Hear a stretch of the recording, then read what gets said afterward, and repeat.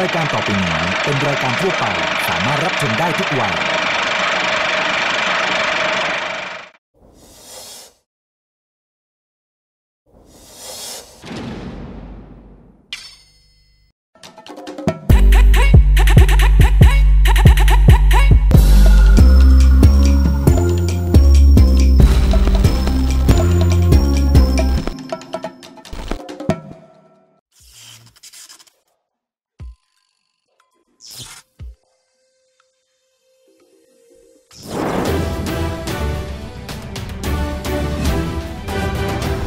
เมนูในวันนี้ดีกว่า บอกได้เลยว่าเป็นสตรีทฟู้ดที่เท็ดดี้ชื่นชอบอีกหนึ่งอย่าง เราเดินไปเนี่ยทุก ๆ 19 เราจะเจอ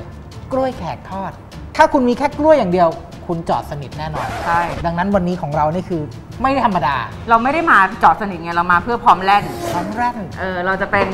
รวมแขกทอด วันนี้ปกติเขาใช้กล้วยน้ำว้า แต่เราเป็นกล้วยหอม แล้วก็ผิวอาจจะดำนิดนึงเพราะเออเผลอเอาเข้าตู้เย็นเป็นการถนอมอาหาร มีมันเทศนะคะ มันเทศสีส้ม มันเทศสีขาวปกติ แล้วก็มันเทศสีม่วง นี่นะดูนะคุณผู้ชมนะน่ากินนะ ตัวซอสของเราก็จะโรยด้วยงาขาวคั่วโหน่ากินมากๆนะครับ สวัสดีค่ะ สวัสดีครับ พบกับเท็ดดี้และนานานะครับ ในรายการฟู้ดไฟโตศึกครัวเดียวกันนะครับ ทุกวันพุธเวลาบ่าย3โมงทางช่อง Workpoint TV หมายเลข 23 ครับ ฟูดไฟโตะนะคะ เป็นรายการสารสัมพันธ์ในครอบครัวผ่านการทำอาหารร่วมกันค่ะ โดยก่อนทำอาหารเราจะมีการเล่นเกมนิดๆหน่อยๆ โดยผู้ชนะเนี่ยนะคะจะเป็นผู้ที่เหมือนมีอำนาจมากกว่าในการสั่งคนที่แพ้ให้ทำเมนูนั้นตลอดรายการค่ะ คือไม่ค่อยจริงจังเรื่องการทำอาหาร จริงจังในการเล่นเกมแล้วค่ะคือทุกวันนี้เราคอยว่า PD เตรียมเกมอะไรให้เราในแต่ละอาทิตย์อ่าเพราะว่า อาหารนี่ยังไงเราก็ทำอร่อยๆให้คุณผู้ชมได้ชิมกันอยู่แล้วแต่เกมเนี่ยะครับไม่รู้ว่าเป็นเกมอะไรไงมาพูดถึงเกมในวันนี้นะครับ และเกมของเราในวันนี้ก็คือ ให้สลับกันบอกชื่อกีฬาที่ใช้ลูกกลมๆในการเล่นครับถ้าใครนึกไม่ออกคนนั้นจะเป็นผู้แพ้ไปเลยครับ easy มาก ๆ เปตอง ฟุตบอลบาสเกตบอลกอล์ฟเบสบอล เบสบอลไงลูกกลมๆไงเออรู้รู้รู้วอลเลย์บอลโปโลน้เฮ้ย ฮอกกี้บอกำเฮ้ยฮอกกี้บกไม่ไม่กลมนี่ฮอกกี้บกแฮนด์คืออะไรบอลอะฮอกกี้บกใช้ไม้ตีลูกกลมๆนะครับ อะไรกันเนี่ยคุณเท็ดดี้ไม่รู้จักได้ยังไงเนี่ยเฮ้ยคุณเปลี่ยนเหรออ๋อแชร์บอลโหเออนี่เออแพ้เฮ้ยเฮ้ยเฮ้ยโอ้คิดไม่ออกอะอ๋อคุณนานาจะยอมแพ้แบบนี้จริงๆเหรอครับ สู้ๆสิครับยิ่งเหรอโอ้เกมนี้คุณเท็ดดี้เนี่ยดูมั่นใจมากเลยครับ เอาหน่อยนะง่ายเทนไปนิสสควอชโห สนุกเกอร์บิลเลียดเล่นแบบนี้เลยนะครับ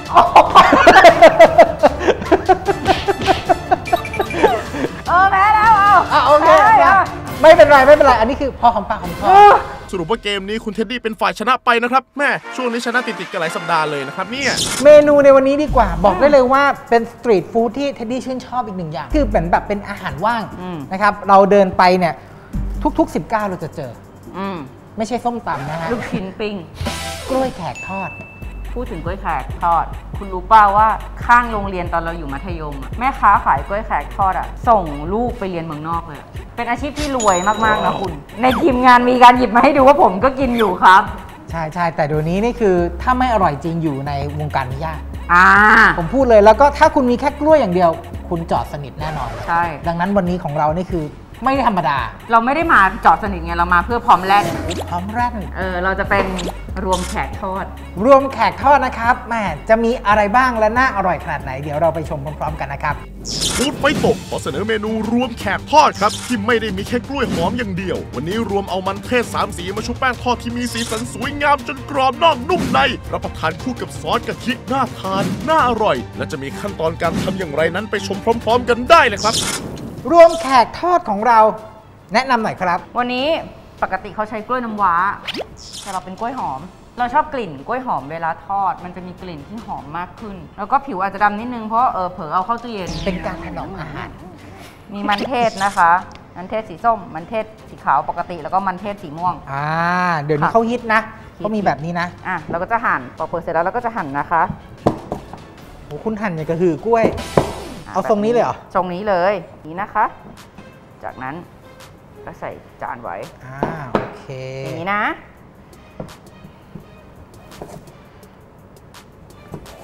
อแบบนี้นะคะอะไม่เป็นไรคจรับ ริงๆเขาต้องหั่นจากสีอ่อนลงมา แต่มันอยู่ใกล้มือเรามากกว่าเราขอโทษด้วย หนาบ้างบางบ้างเป็นวาไรตี้ของชีวิตครับเป็นเสน่ห์ของเอ้ย โฮมเมด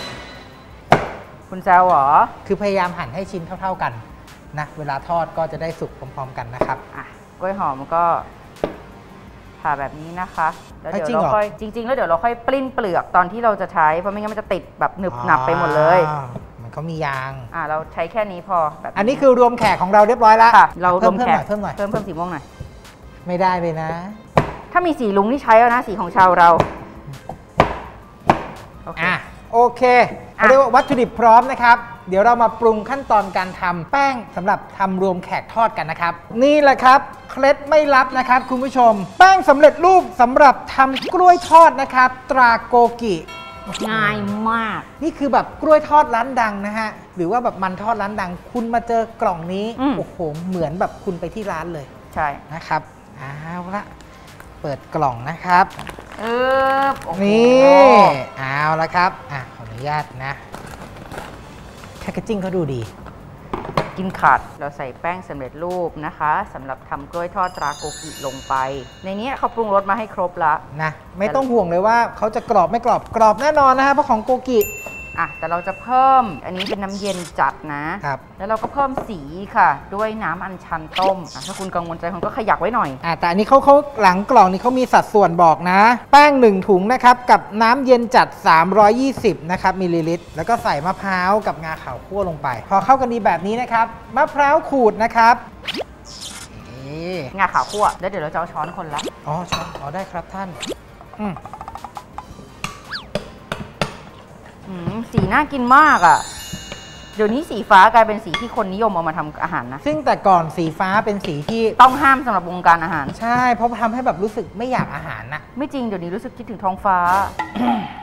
ทำไม แบบนี้เสร็จปุ๊บนะคะ เราจะเอาตัวรวมแขกของเราเนี่ยชุบชุบแป้งทอด แล้วก็ทอดได้เลยนะครับ ตอนนี้คุณนานาและคุณเท็ดดี้ก็ได้เตรียมแป้งสำหรับนำกล้วยและมันเทศสามสี ที่ผสมกับน้ำอัญชัน มะพร้าว และงาขาว เตรียมเอาไว้เรียบร้อยแล้วล่ะครับ ช่วงหน้าจะนำลงไปทอดในน้ำมันร้อนๆ จะน่ารับประทานขนาดไหนกัน พักกันสักครู่นะครับ สังเกตว่าเราจะทอดของแต่ละชนิดทีละรอบ เพราะว่าเราหั่นไม่เท่ากันกล้วยได้ยัง อ๋อได้แล้วครับพี่ ลืมพริกขอโทษดีครับสองชิ้นนี้สวย ช่วงอร่อยได้สุขภาพกับเคดีแคร์ คุณผู้ชมเจ้าขาอาหารการกินเป็นสิ่งสำคัญ เราจะสุขภาพดีก็ขึ้นอยู่กับว่าเรากินอะไรเข้าไป วันนี้นะคะมีโพสต์มาค่ะ ที่เพจของ KD Care Products ค่ะ กราบสวัสดีค่ะ อาจารย์ยิ่งศักดิ์เดียนเป็นเจ้าของร้านอาหารทะเลพร้อมกับขายข้าวต้ม 24 ชั่วโมง อยู่สมุทรปราการค่ะ ไม่ไปค่ะไกลไปหน่อยนะคะ เมนูยอดฮิตที่เดียนเห็นหลายร้านอาหารทำขายกัน นั่นก็คือกะหล่ำปีผัดน้ำปลาค่ะ เดียนฝึกทำเองเท่าไหร่กะหล่ำปีก็เค็มเค็มเค็มจัดมากเลยค่ะ อยากได้สูตรกะหล่ำผัดน้ำปลาแบบที่ไม่เค็มมากแล้วก็ดีต่อสุขภาพขอคำแนะนำด้วยนะคะ อาจารย์ยิ่งศักดิ์คะตำรับนี้เดียนทำได้ค่ะ คุณผู้ชมคะเพราะว่าเดียนใช้ซอสปรุงรสทดแทนน้ำปลาตราเคดีแคร์ไปชมค่ะ วิธีทำกระหล่ำปลีผัดน้ำปลา ใส่น้ำมันพืชลงในภาชนะนำขึ้นตั้งไฟพอร้อน ใส่กุ้งแห้งเนื้อ ทอดจนสุกเหลืองกรอบ แล้วปิดไฟตักใส่ภาชนะเตรียมไว้ ใส่น้ำมันพืชลงในภาชนะนำขึ้นตั้งไฟพอร้อน ใส่กระหล่ำปลีกระเทียมจีน ผัดจนกระหล่ำปลีสุกนิ่ม เติมซอสปรุงรสทดแทนน้ำปลา ราเคดีแคร์ผัดให้เข้ากันใส่น้ำผัดให้เข้ากันอีกครั้งแล้วปิดไฟ ตักกระหล่ำปลีผัดน้ำปลาใส่ภาชนะ โรยหน้าด้วยกุ้งแห้งทอด พร้อมเสิร์ฟค่ะเคล็ดลับในการทำกะหล่ำปลีผัดน้ำปลานำเอากุ้งแห้งเนื้อมาลวกน้ำร้อนก่อน เพื่อลดปริมาณเกลือที่ตกค้างในกุ้งแห้งเนื้อ จากนั้นนำกุ้งแห้งเนื้อมาผึ่งลมจนแห้ง แล้วจึงนำไปประกอบอาหารค่ะ สำหรับโซเดียมของเครื่องปรุงรสทั้งหมดในสูตรนี้ จะมีปริมาณโซเดียม 1,500 มิลลิกรัม แต่กระหล่ำปลีผัดน้ำปลา จานนี้ที่อาจารย์ยิ่งศักดิ์ปรับสูตรให้ โดยใช้ซอสปรุงรสทดแทนน้ำปลา ตรา KD Care มีปริมาณโซเดียม 600 มิลลิกรัม ลดลงถึง 900 มิลลิกรัม เปรียบเทียบค่าโซเดียมในการใช้น้ำปลาสูตรปกติที่ลดลงถึง 60%เลยค่ะ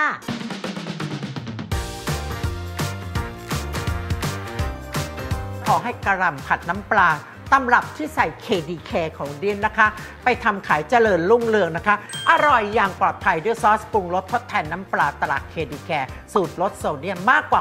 60%ไม่เติมเกลือโพแทสเซียม คุณผู้ชมอย่าลืมนะคะ โพสต์มาได้เลยค่ะ ที่เพจ KDK Products ค่ะ และตำรับของใครนะคะถูกใจอาจารย์ยิ่งศักดิ์เอามาทำในรายการ จะมอบให้เลยค่ะ ผลิตภัณฑ์ KDK แบบนี้นะคะ คุณผู้ชมสามารถติดตามสาระความอร่อยเพิ่มเติมได้ที่เพจ KD Care Products และสามารถสั่งซื้อทางช่องทางจัดจำหน่าย และออนไลน์ได้แล้ววันนี้ โปรโมชั่นพิเศษในเดือนสิงหาคม ซอสปรุงรสทดแทนน้ำปลาตรา KD Care มีโปรโมชั่นซื้อ 2 แถม 1 ในขนาด 300 มิลลิลิตร หาซื้อได้ที่ฟู้ดแลนด์ทุกสาขา เริ่มตั้งแต่วันที่ 19 ถึง 31 สิงหาคมนี้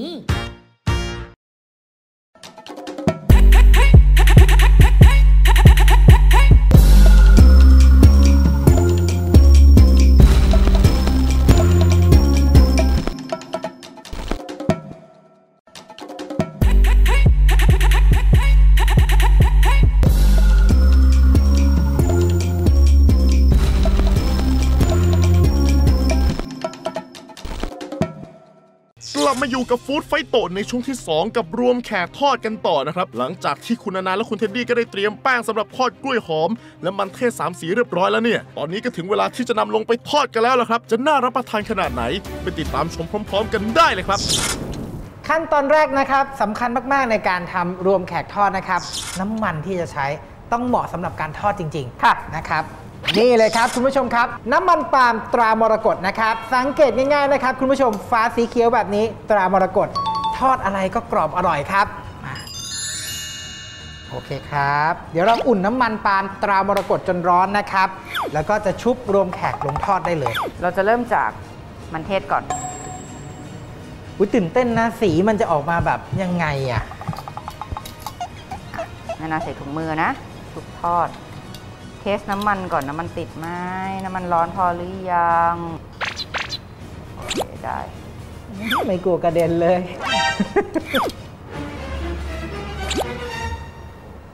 ห่างๆหน่อยนะพี่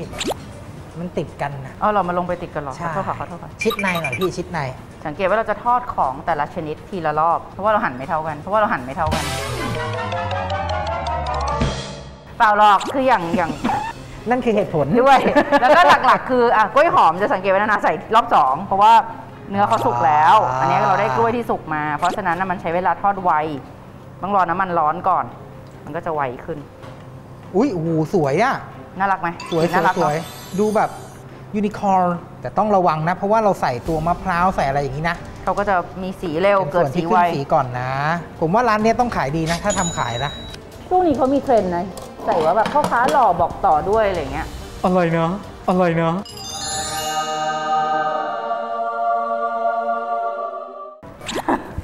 เฮ้ยสีสวยจริงอะ อะ เราต่อนะ คุณใส่ได้เลยเพราะว่าเขาคงไม่ติดกันละใช่เพราะเทเขาดเริ่ดี้มโกยไปฝั่งหนึ่งนะ เดี๋ยวเราจะใส่กล้วยหอมของเราลงละ มันจะได้ขึ้นพร้อม ๆกัน คุณเอาเศษเยอะๆด้วยสิเวลาผมซื้ออะผมชอบขอเขาเพิ่ม ทีหลังทีหลังเพราะว่าเรายังเหลืออีกหลายอย่างอ๋อกลัวไม่พอ เปล่าเปล่าเดี๋ยวมันมันจะเสียอ๋อเคลือบปะเนี่ยเอ้ย ดูไม่ค่อยทั่วเลยใช่ไหมแกเจนเย็นเยอะเยอะมากแป้งหนาไม่ดี ผมชอบแป้งหนา ผู้หญิงเขากินกล้วยแขกกันนะเขาเอาแป้งบางๆเขามีที่รีดน้ำมันเลยได้วยซ้กินทำไมำบูลลี่เหรอ ไม่ใช่คือถ้าคุณรีดอะกินทำไมอะคุณรู้ปะเนี่ยกล้วยปิ้งไหมผู้หญิงบางคนกินอะเอาไข่เอาทิชชู่ขยำเลยนะ แล้วก็ก่อนกินอะแล้วก็ตามด้วยชานมไข่มุกทำไมอะ กดอะไรอะยกได้ละเนี่ยขึ้นละอ๋อติดละโอเคเอาเออได้ครับพี่คุณอะกดอะไรอะเร็วนี่นะดูคุณนะคุณผู้ชมนะน่ากินนะ นี่อะโอเคอุ้ยอุ้ยอุ้ยๆไงล่ะเห็นไหมโอเคอะติดกันเลยอะอันนี้มันเทศของเราได้ละอันนี้ตามด้วยกล้วยนะครับกล้วยหอม อะเอามาก็พักๆเขาหน่อยนะอุ้ยสีสีใช้ได้นะ เนี่ยแล้วเคลือบไม่ติดแบบนี้เห็นข้างในเป็นสีเหลืองตัดกันดี ตั้งใจ ตั้งใจตั้งใจตั้งใจเอ้ย ค่อยคอนทราสต์แต่ที่ชอบที่สุดนี่คือกล้วยหอมทอด อร่อยเนาะ หอมเลย นอกจากสีแบบนี้คุณสามารถใส่สีอะไรอีกใบเตยสีเขียว ใบเตยผมเคยเห็นแล้วนะชาโค เออมันจะดูน่ากินไหมก็เท่ดี อ๋อเอออกไหมคือเราก็มองว่าถ้าเกิดเรามองมันเป็นแฟชั่นแล้วอะเป็นกล้วยแขกแฟชั่นอะคุณก็สามารถใส่ขมิ้นหรือใส่อะไรอย่างเงี้ยลงไปแบบเพิ่มสีอะเราว่าก็ดูสนุกดีนะ เป็นไอเดียที่ดีมากเลยนะครับเนี่ยคุณนานาเขาเรียกว่าความอร่อยไร้พรมแดนกล้วยได้ยังเอาได้แล้วครับพี่ลืมพริกขอโทษดีครับของชิ้นนี้สวยเลิศเอ๊ะอะทำไมกล้วยเหลือสามอะอะทำไมกล้วยเหลือสามอะ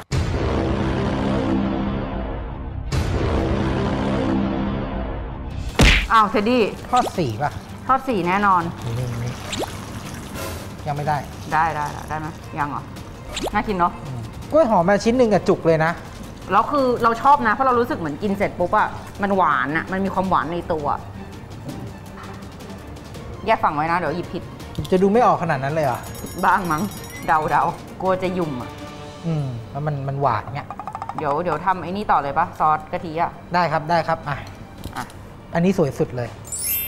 เดี๋ยวรอเสียเจอสีม่วงก่อนแหสีม่วงก็คือธรรมดาอันนี้แบบเขาตัดกันอะดูดิ นะ อะ ใส่เลยใส่เลย เวลาไม่ค่อยท่า อ่า มันม่วงนะคะ คุณยังไม่มีเสร็จๆให้ผมนะ ใจเย็นๆใจเย็นๆกำลังจะทำให้ค่ะ สักครู่กระทะสุดท้ายเทดดี้งั้นไม่เอาละ มันต้องเกิดจากความไม่ตั้งใจ อืมอืมเอาที่สนุกแล้วกัน อืมโอเคยัง ไม่ตั้งใจพอยัง เอาสีเขียวไอ้ยสีสีสีส้มขึ้นได้แล้วเอ้ยอะคุณผู้ชมนะ การทอดของนะสำคัญที่สุดคืออุณหภูมินะนะการที่แบบอยู่ดีใส่แบบมาเยอะๆอะไรอย่างเงี้ยนะ มันทำให้แบบอุณหภูมิเขา drop ลงนะ ดูเลวร้ายไปเลย ทั้งที่เป็นคน request เอง บางทีเราต้องแบบควบคุมนะอย่าคิดว่าแบบการทอดของนี่เป็นเรื่องง่ายนะ ญี่ปุ่นนี่เขายังมีแบบทอดเทมปุระอย่างเดียวนะ ทั้งร้านมีแค่เทมปุระนะ ทั้งร้านมีแต่รวมแขกทอดก็พอได้อยู่ เท่นะ เอาจริงนี่เป็นเหนือไอเดียไอเดียเปิดร้านได้เลยนะนี่ใช่ยังไม่เล่นๆจบอีกเหรอก็จะเอาไม่ใช่หรอเอาแล้วโอ้อะยอันนี้คงต้องรอให้กรอบทั้งกระทะก่อน แล้วค่อยยกขึ้นได้ มันเป็นยังไง มันมันเป็นแพร ลองสิดูดีโหเลยเนี่ยพอดีเลยอะสีเหลืองยังติดอยู่เลยเนี่ยบอกหมดแล้วไงตาไม่ค่อยดีแล้ว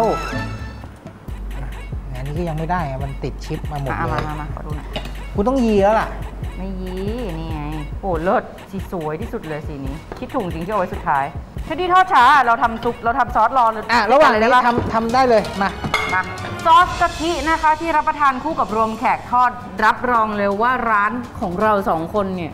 มจะเป็นร้านรวมแขกเงินล้าน ขอเป็นสักสิบล้านแล้วกันอะมามาขั้นตอนแรกของซอสเรานะคะความหวานหอมๆด้วยนี่เลยมีผลปี๊บน้ำตาลอ้อยผสมน้ำตาลมะพร้าว ปึ๊บโอเคใส่ลงไป จากนั้นใส่อัมพวากะทิร้อยเปอร์เซ็นต์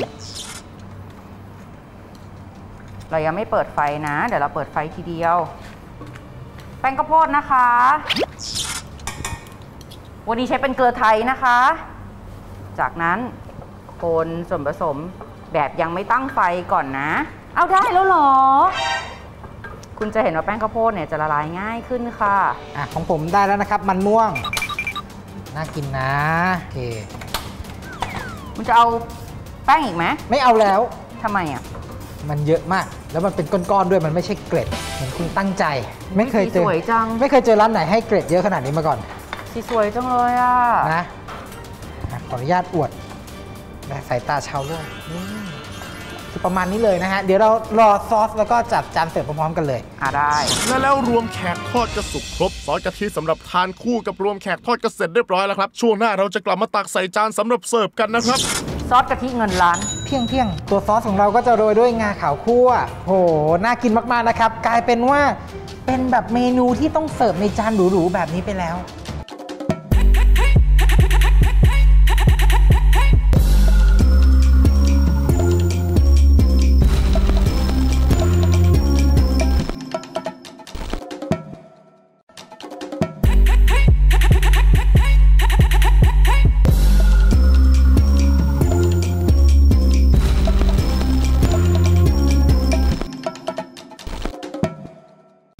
สู่ช่วงที่ 3 ของฟู้ดไฟโตะศึกครัวเดียวกันกันต่อนะครับ คุณนานาและคุณเท็ดดี้ได้ทำการรวมแขกทอด และซอสกะทิที่เคี่ยวจนได้ที่สำหรับรับประทานคู่กันเสร็จเรียบร้อยแล้วละครับ ตอนนี้ก็ถึงเวลาที่จะจัดเสิร์ฟกันแล้วนะครับ จะเป็นอย่างไรไปติดตามพร้อม ๆ กันได้เลยครับอะของนานาเรียบร้อยแล้วเทดดี้ตักของเทดดี้ลงจานเสิร์ฟได้ครับได้เดี๋ยวคนารันาบจะตักของนานาลงอ่าถ้วยเหมือนกันผผมนะมันม่วง ซอสกะทิเงินล้าน เพียงเพียง